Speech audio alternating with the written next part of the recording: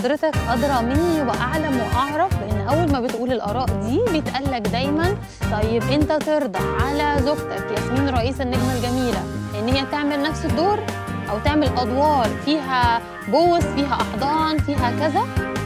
بيتقال لك بترد تقول إيه؟ لو الدور اللي لازم كده وال- والعمل يسمح وموظف متوظف ده تعمل ما عندكش مشكلة.